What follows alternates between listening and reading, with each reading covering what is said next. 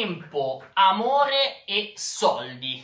Questi sono i tre macro titoli dei tre capitoli in cui si può dividere il breve ma ricco e intenso nuovo libro di La Badessa, che si intitola Piccolo con il punto esclamativo.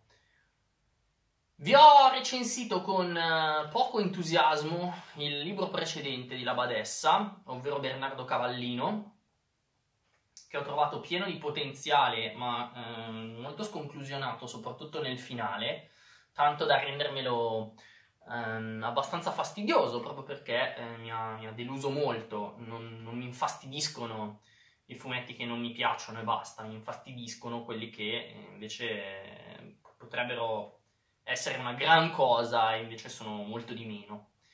Ecco, non mi aspettavo quindi granché eh, dalla badessa in questo nuovo libro, non perché io non mi aspetti niente dalla badessa, ma perché insomma mi viene naturale, no? Eh, quando, quando penso a un autore partire nelle aspettative dal, da, dal loro ultimo lavoro, quando ne conosco i precedenti, e invece piccolo e bellissimo.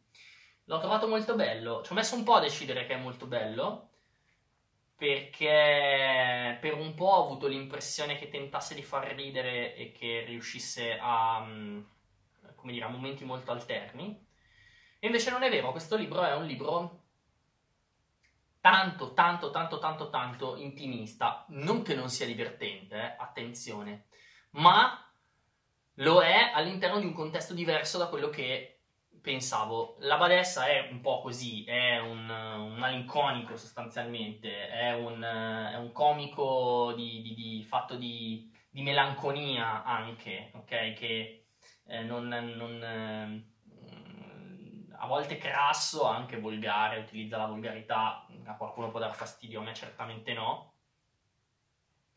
Però la Badessa, insomma, basta leggere i suoi meravigliosi, spettacolari ehm, oroscopi per, per, capire che ci sia sempre anche una vena fortemente malinconica e molto riflessiva all'interno delle sue storie. E qui c'è come. Qual è il concetto di base sostanzialmente? L'uomo uccello, che è un po' l'avatar e il personaggio fondamentale dei fumetti di Lavadessa, parla con il suo bambino interiore, che appunto chiama piccolo e gli parla perché? Perché sente evidentemente di essere arrivato all'età adulta, non sembra particolarmente felice di essere arrivato all'età adulta né di come lo ha fatto e quindi parlando con il proprio bambino interiore immagina di poter uh, migliorare le cose per lui, per il piccolo, ma anche per se stesso.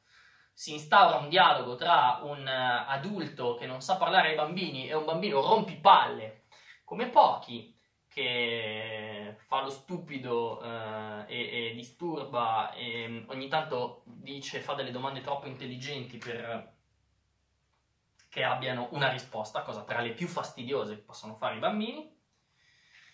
E i tre argomenti appunto che eh, l'uomo uccello vorrebbe spiegare al se stesso bambino sono questi, sono il tempo, nella misura in cui ormai quando arrivi a riconoscerti volente o nolente come adulto, non puoi più far finta che non passi.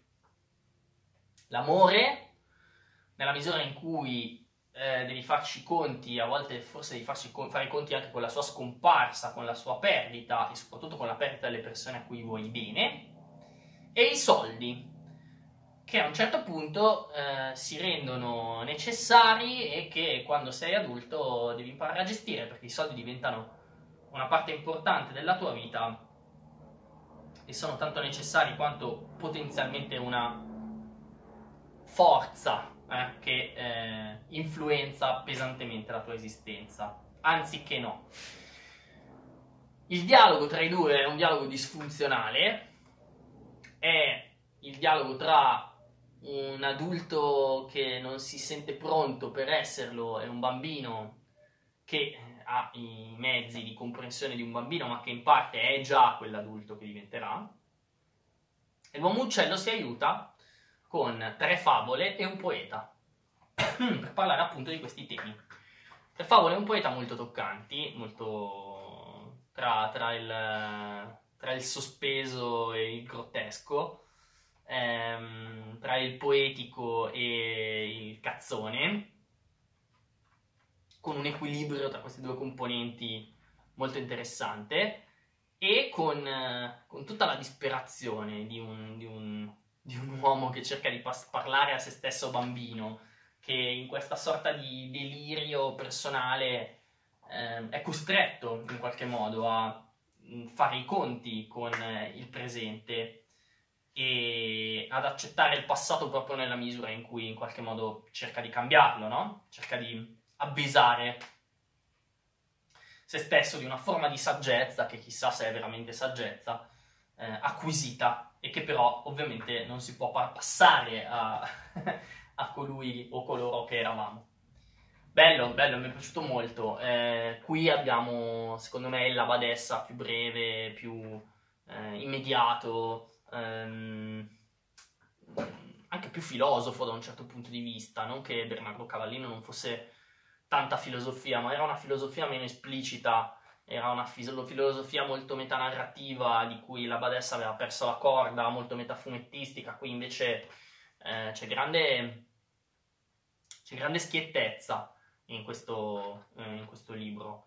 Ehm, c'è una schiettezza non soltanto tematica che c'era anche in Bernardo Cavallino, ma qui c'è una schiettezza formale, c'è una schiettezza di atteggiamento che aiuta moltissimo i sentimenti, le emozioni di piccolo ad arrivare immediatamente al lettore. Ehm, immergetevi nell'atmosfera soprattutto di questa storia perché non è immediatamente chiara, non è eh, immediatamente evidente e manifesto quello che la badessa vuole fare con questo libro, ma eh, più andate avanti nella lettura più lo capite e più vi conquisterà, ne sono abbastanza certo. Anche perché Piccolo è una lettura piuttosto breve. È fulmineo immediato, ci sono una serie di svolte, qualche colpo di scena. Eh, molto convincenti e c'è una serie di personaggi proprio commoventi da un certo punto. Probabilmente bisogna avere l'età giusta, io eh, ce l'ho un pochettino, eh, per, per um, bisogna essere passati, no? In qualche modo, attraverso certe riflessioni, certe, um, certe domande, anche certe risposte sul, sul modo personale di essere adulti, eh, poi domande che non ci si smette mai di fare, per, perlomeno nei migliori dei casi, e risposte che chissà quando si trovano, ma, ma, ma probabilmente quello che conta è la domanda. Eh, anche l'uomo uccello credo che alla fine si convinca del fatto che quello che conta è la domanda, perché ovviamente le risposte sono sempre precarie, in un mondo in movimento ogni equilibrio è dinamico, quindi bisogna costantemente muoversi per restare in piedi. Eh, beh, da un punto di vista artistico sicuramente la Badessa si è data una bella mossa, perché Bernardo Cavallini è stato un grande successo, ma dal mio punto di vista artisticamente n- non così tanto. Ecco, qui secondo me voliamo decisamente molto più in alto e credo che Piccolo sia davvero, davvero un, un ottimo lavoro, senza, senza sbrodolamenti, senza ehm, senza troppe, troppi particolari inutili, senza tentativi di costruire più di quello che una storia deve essere. Ecco, piccolo è ammirevole da questo punto di vista. La Badessa, piccolo, Feltrinelli Comics. Versate qualche lacrima insieme all'uomo uccello, qualcuna eh, di, eh, dal ridere, ma diverse, diverse, devo dire di commozione e di emotività condivisa, un libro molto personale e, molto molto sincero. Applausi. See you, bad taste.